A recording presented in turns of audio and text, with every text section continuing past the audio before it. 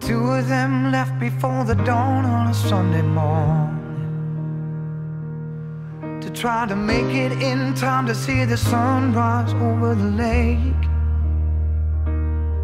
He said, How much do I give and what do I take? As he took him by the hand, some things we'll never understand.